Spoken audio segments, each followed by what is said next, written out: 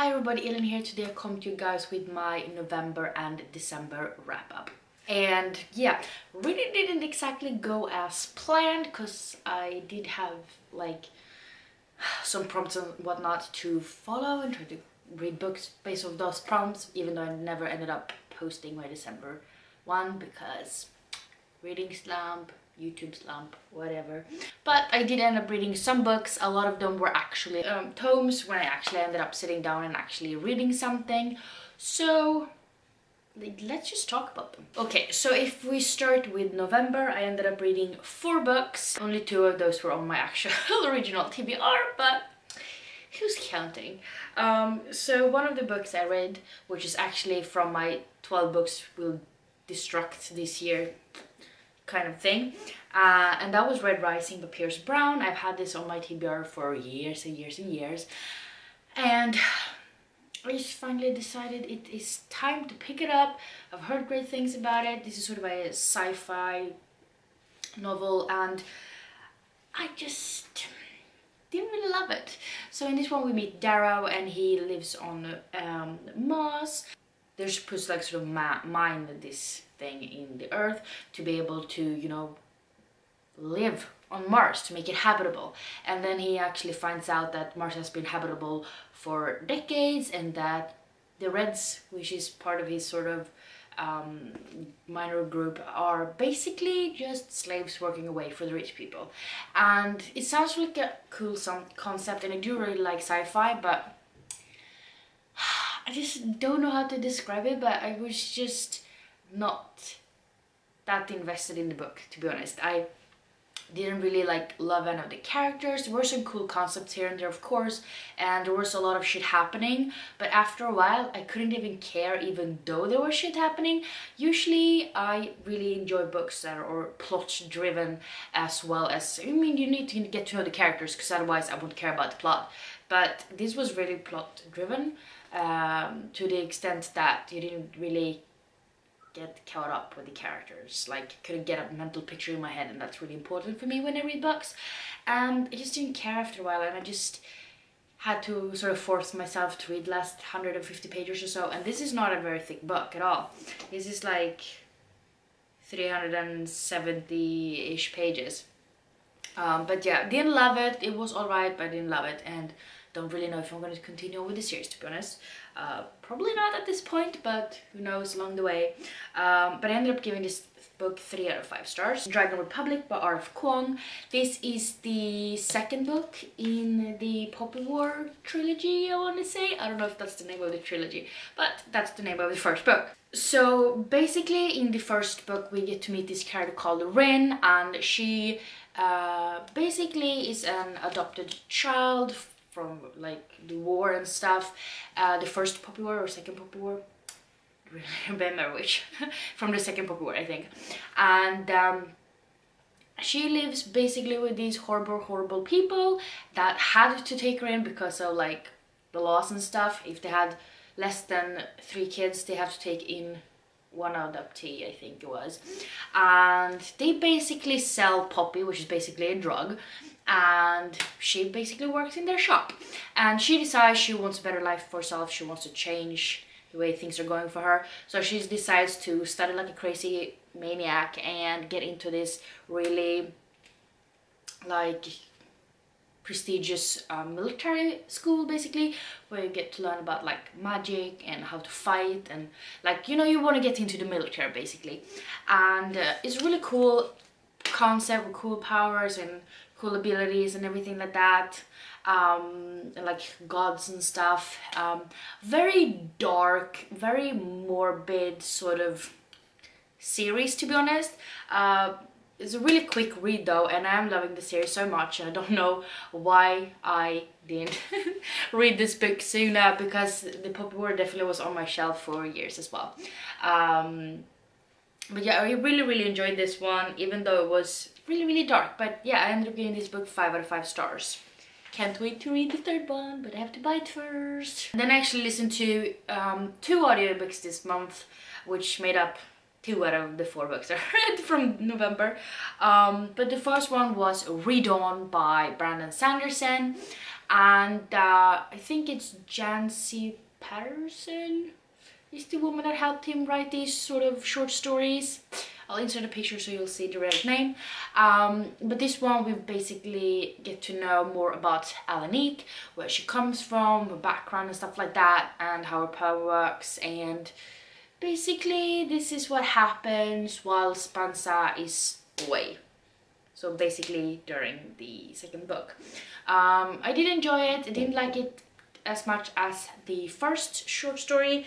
Um, but I did end up getting this 4.5 out of 5 stars.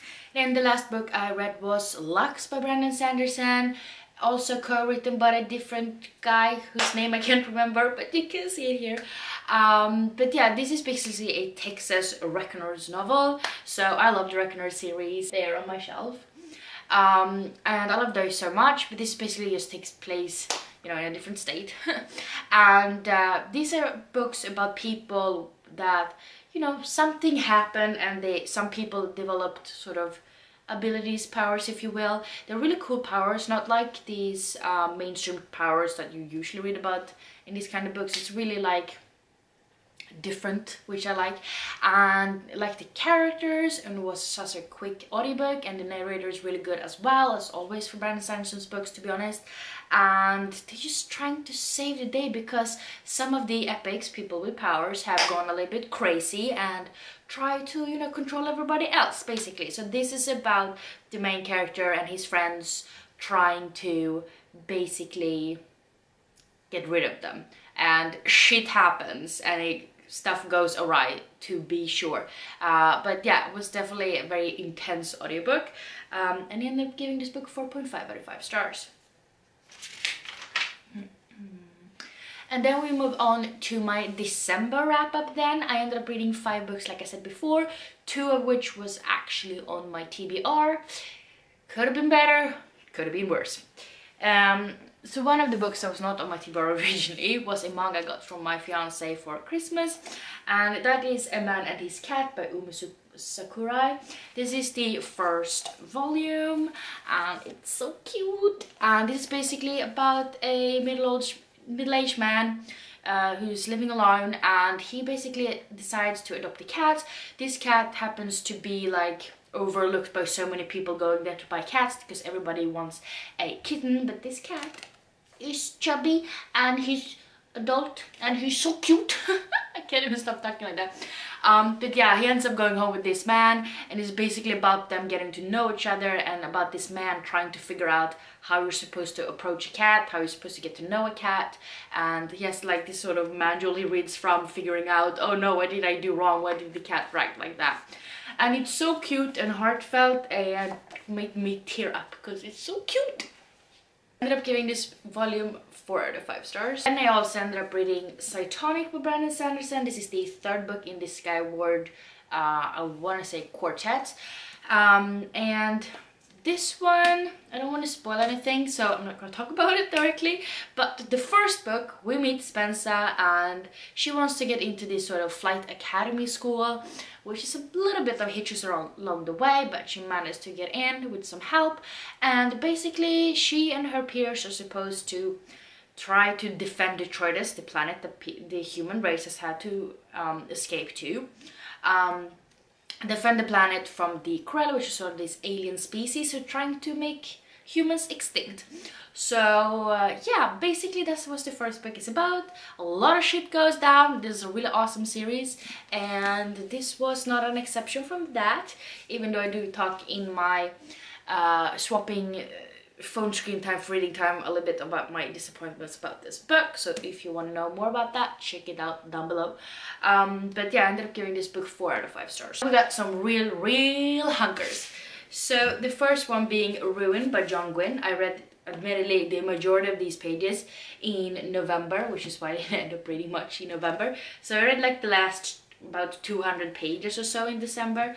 Um, this is book three in this series called The Faithful and the Fallen and I'm obsessed with John Gwynne to be fair and this series in particular um, but yeah this is the third book but in the first book we get to know uh, Corban and a couple of his friends and his sister and everything like that and basically they are supposed they are trying to uh, fight sort of this prophecy. There's going to be a bright star who's like the good guy who's trying to make sure basically that all evil and hell on earth won't you know get onto earth defend the human race.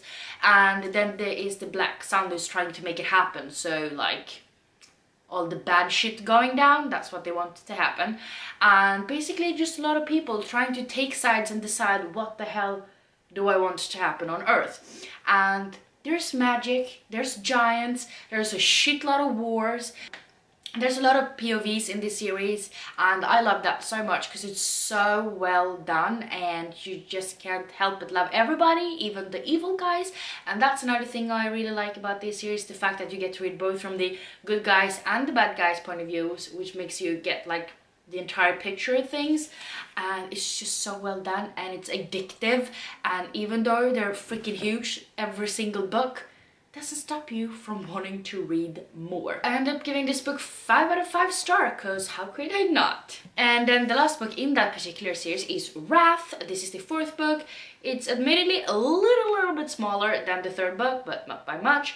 Uh, this is by John Gwynne, like I said. This is the final book in the series and that makes me so sad because I read this in two days and it's like if you count away the dictionary it's 685 pages and I read this in two days and I was addicted and I need more to be fair. I wish it was like a 10 book series. Um, I just explained the other books so I won't talk that much about this one but this book made me feel I usually never cry to books, but this series entirety, like I've been teared up, I've been teared up several several times. The third book made me bawl my eyes out, so I immediately threw myself into this book. It did not disappoint, cause shit goes freaking down. And even though there was one thing in this book I thought was a little bit predictable, it was still done very well and I was not disappointed, you know, about how it was handled or anything like that and just you know all the feels in the world and I just want to plow on through everything John Gwynne at this point and I'm gonna make sure that happens. Um, so yeah this was amazing as well and I gave it 5 out of 5 stars. And you know just read the series people. Come on. The very last book which was technically the first book I finished in December is Is to Belong. And the author is Cynthia Kadahota, Kadohata. And this is basically about uh, immigrants from Japan and when the Second World War stopped, you know, after the bombing in Hiroshima. So this is basically about uh, a bunch of Japanese Americans that were sort of caught in the middle in the Second World War since Japan um, bombed Pearl Harbor in Hawaii and then the Americans in their turn uh, bombed um, Hiroshima.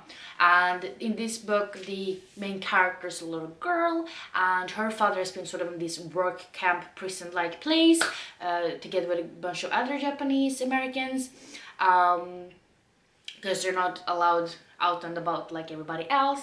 And at the end of the war, they are sent back, all of them, to Japan, even though the kids are actually born in America and it's basically you get to follow them like on the boat ride back to Japan and how they sort of try to accumulate themselves in um, in Japan and trying to uh, get on uh, the main character's.